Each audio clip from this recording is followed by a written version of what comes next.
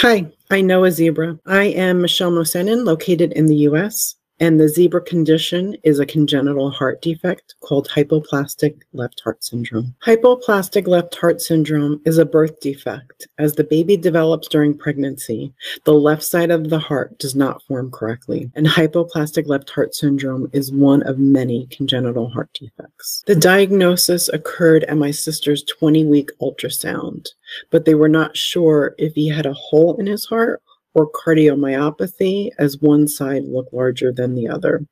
The size of a baby's heart is about the size of an acorn at 20 weeks, so it was difficult to diagnose at the time, and it took a few weeks to confirm. I never heard about this rare disease prior to his diagnosis. Congenital heart disease impacts one in a hundred births.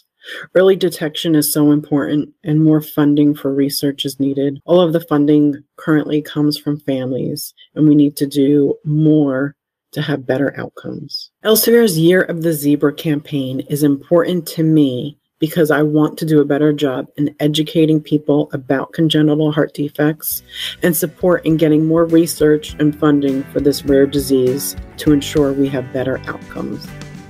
To learn more, visit www.osmosis.org/zebra